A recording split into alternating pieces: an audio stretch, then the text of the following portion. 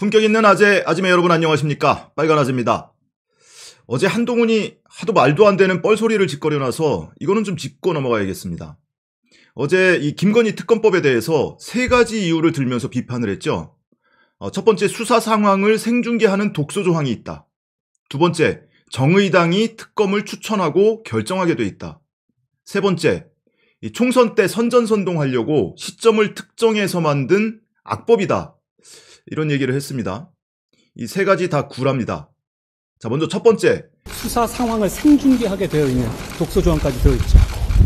네, 수사 상황을 생중계하는 독소 조항이 있다라는 부분은 아마 이 조항을 보고 얘기한 것 같아요. 사건의 대국민 보고 조항이 있습니다.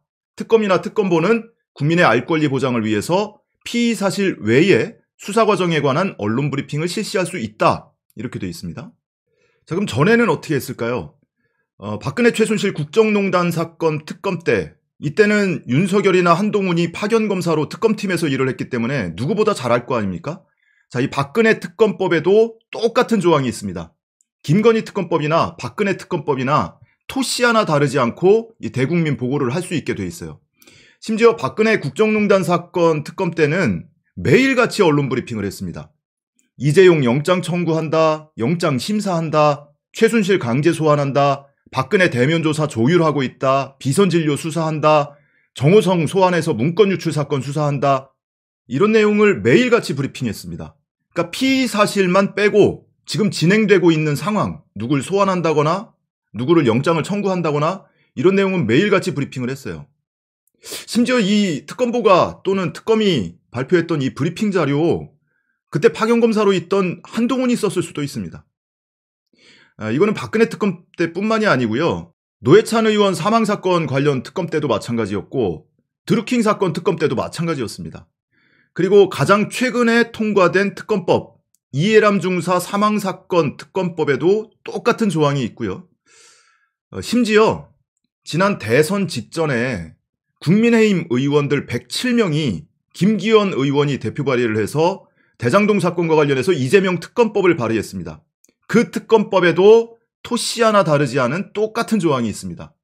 이 특검이라는 게 보통 국민적 관심사, 국민적 의혹이 있는 사건을 수사하기 때문에 국민의 알 권리 보장을 위해서 최소한의 장치를 마련을 해둔 거예요. 근데 이걸 가지고 독소 조항이다.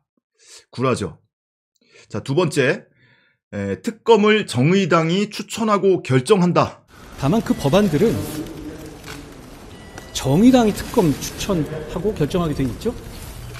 이렇게 얘기를 했습니다. 김건희 특검법에 대한 얘기예요.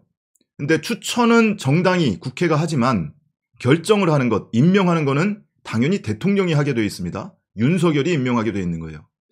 그리고 정의당이 특검을 추천한다고 했는데 정의당이 추천하는 특검법은 50억 클럽 특검법입니다. 50억 클럽 특검법에 보면 교섭단체에 속하지 않는 정당이 추천하게 되어 있어요. 그러니까 국민의힘하고 민주당 빼고 다섯 개 정당, 이 여기에 해당이 됩니다. 정의당, 기본소득당, 시대전환, 진보당, 한국의 희망. 이 시대전환 조정훈 의원은 뭐 국힘하고 합당을 했다, 무슨 뭐 입당했다 이러는데 선관위에 공식적으로 합당 신고가 아직 안 끝났어요. 그래서 법적으로 지금 시대전환 소속입니다. 이렇게 다섯 개 정당이 특검을 추천하게 돼 있는 거고 당연히 임명은 대통령이 하게 돼 있습니다.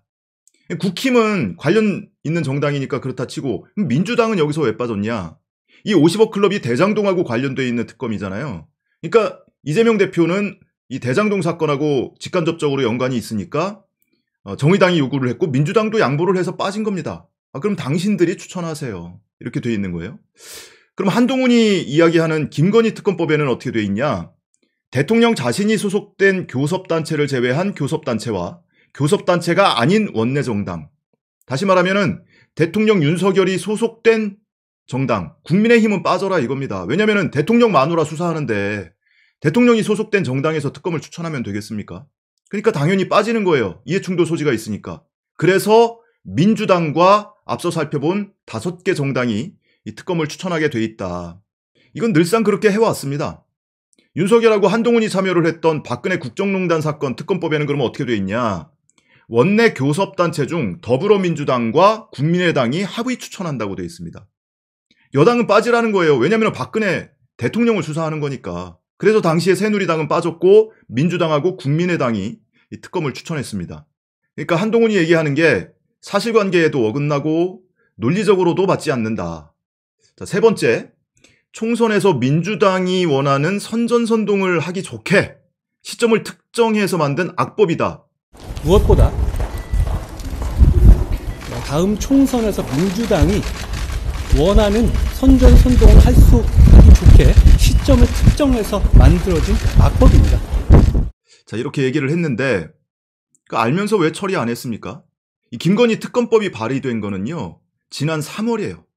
50억 클럽은 2월에 발의됐습니다. 그때 처리했으면 벌써 특검 끝났을 거예요. 근데 국민의힘이 가로막았잖아요. 그래서 어쩔 수 없이 패스트 트랙에 태워서 이번에 의결을 앞두고 있는 거 아닙니까? 그 알면 당시에 처리하지 그랬습니까? 입만 벌리면 굴하다 해서 입벌구 정권, 입벌구 정권 하는데 이 입벌구 정권 넘버 3답다. 어떤 새끼가 넘버 3래 내가 넘버 2야 이씨